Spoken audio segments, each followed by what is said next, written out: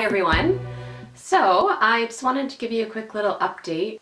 Um, this weekend uh, we in Creative Chaos, which is coming up. Um, it's my first year in it. Um, if you want to stop by on the weekend, it, I'll be in the atrium in the rec center building in Vernon and my booth is 141 and I will have a selection of my products. Um, I'll give you a few sneak peeks here.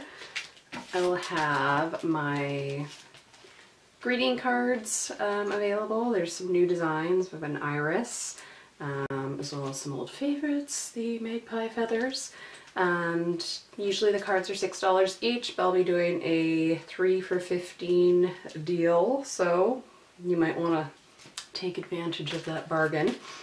Um, we'll also have gift tags. Uh, I've got some nice, I don't know if you can see that, new packaging. Um, these are some newer designs. Iris, got a floral bouquet and um, maple keys.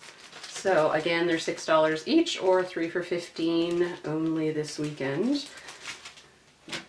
Um, the other things I will have are my throw pillows. Voila. Voila.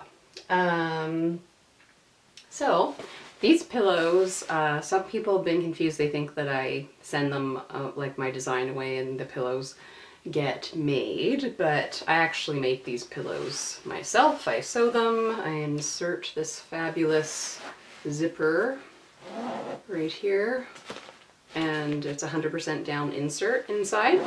So I do the design and layout and then I order the raw fabric from a um, company in the US that does eco-friendly digital printing. So, and then I get the fabric, I cut it out with my design and I sew it and get it all stuffed up with the pillow insert. Um, so this is the Siberian Iris design. Another new design I have is the bear, um, the black bear there, black bear there, that rhymes design. Um, so yeah, there'll be some other ones as well.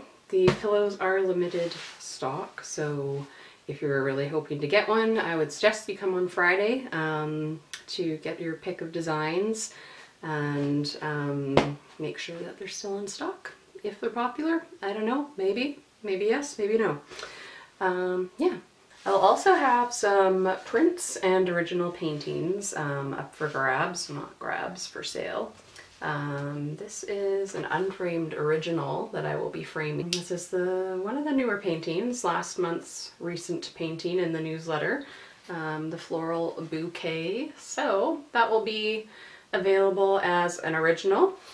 I will also have some print reproductions of a smaller selection of my paintings available um, that you can purchase at Creative Chaos or online anytime on my online shop, which is on etsy.com. You can find that via my website, lauraashtonartist.com.